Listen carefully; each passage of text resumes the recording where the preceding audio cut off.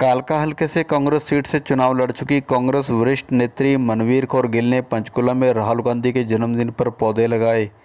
कांग्रेस वरिष्ठ नेत्री मनवीर कौर गिल ने सोमवार को अपने कांग्रेस पदाधिकारियों और समर्थकों के साथ पंचकुला में अखिल भारतीय कांग्रेस कमेटी की महासचिव एवं पूर्व केंद्रीय मंत्री, भावी मुख्यमंत्री कुमारी शैलजा के निर्देशानुसार हर्बल फलदार और फूलों के पौधे लगाकर राहुल गांधी का जन्मदिन मनाया ताकि पर्यावरण शुद्ध हो सके।